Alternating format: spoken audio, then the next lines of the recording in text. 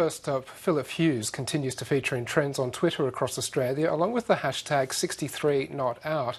This image was posted by Cricket Tasmania today. Tasmania and Cricket New South Wales players observe 63 seconds before the start of their match. From the South Australian Cricket Association, we now have six full condolence books from this memorial at Adelaide Oval. On the other side of the world, this image was shared on Instagram by Hugh Jackman just before curtain on Broadway, paying tribute to Philip Hughes. In Canberra, the Prime Minister has led a condolence motion in Parliament for the Australian cricketer. Tony Abbott says Hughes's death is a reminder that life is both precious and fragile. Death is the certain end to every life, but it never loses its power to shock and dismay, as we've all found since the passing of Philip Hughes last week. He was a great cricketer. He was grand company. He was the best of sons and the best of brothers. His death has so affected people because it happened in the midst of life at its most exuberant. He was 63 not out, on his way to a century and a return to the Test team. Our nation will remember Philip Hughes not for how he died, but for how he lived and for what he loved. And perhaps today all of us should remember to tell the people that we care for how much we love them. Life is bigger more precious and more fickle than any game. May rest in peace.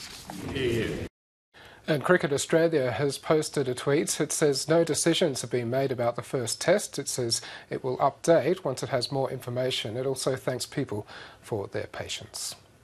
Well, now to Victoria. Twitter says Labor's Vic Votes win generated five times as many tweets on election day compared to the entire 2010 campaign. This image was posted on the Facebook page of the Premier elect Daniel Andrews. The text alongside it reads We're getting to work straight away. I couldn't be prouder that my first act of office is declaring an end to the war on paramedics. I look forward to working with paramedics, not against them, to fix the broken ambulance system and help save lives. Mr. Andrews is standing by his pre-election commitment to scrap the East-West Link Road project. That's despite a request from the Prime Minister to change his position on the matter.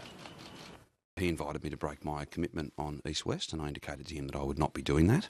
Uh, we then talked about the many other infrastructure uh, priorities that we've laid out, the opportunities for us to partner with him in him delivering on his commitment to the Australian community that he'd be an infrastructure PM.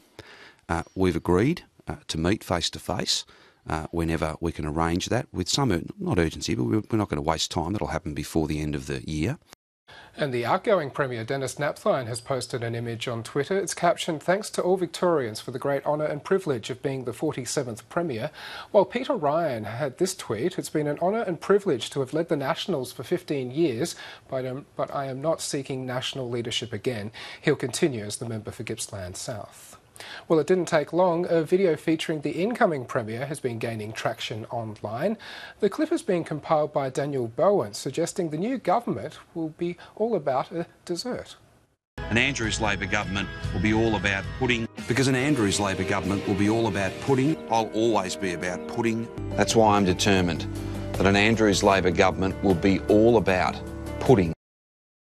There have been major scuffles in Hong Kong between riot police and activists calling for free elections. This image has been posted on Twitter by the South China Morning Post. It reports a man believed to be a police officer is stretchered away from the scene of the clashes. Injuries have been reported on both sides. Video has been shared online showing police moving in on protesters outside government headquarters. Activists have been moved along to the main protest site where tens of thousands of people have gathered in support of free elections over the past two months. Sony Pictures is investigating whether hackers with links to North Korea might be to blame for a cyber attack on the studio last week. The breach came ahead of the release of a comedy called The Interview. The film features a CIA plot to assassinate North Korean leader Kim Jong un. Pyongyang has denounced the movie, describing it as an act of war.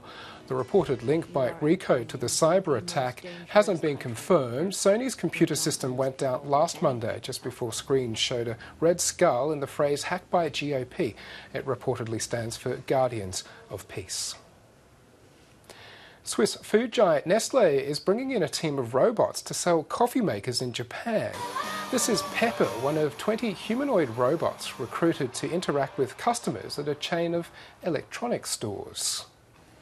ネスレのペッパーですよろしくお願いしますお願いします The waist high robots are capable of learning and expressing human emotions. They've been touted as serving as potential companions and are expected to retail for about $2,000 from February. Nestle says it has plans to increase the number of robot clerks to 1,000 by the end of next year. Well, here's a selection of terms being searched on Google across Australia. Now to some other items that have been generating interest online.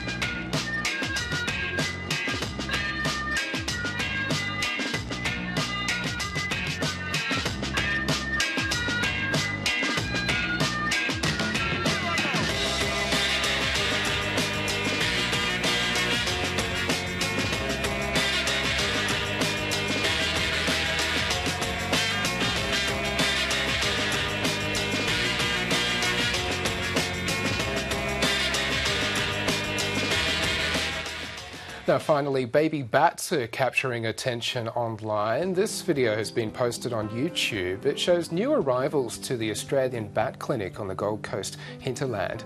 The little flying foxes were admitted after an extreme heat event separated them from their mothers. This clip is called Baby Bat Burritos.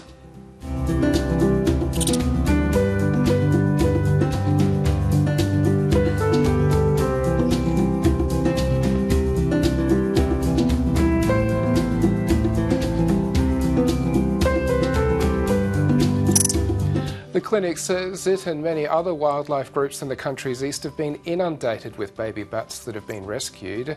These orphans will be cared for at the clinic until they're old enough to be released.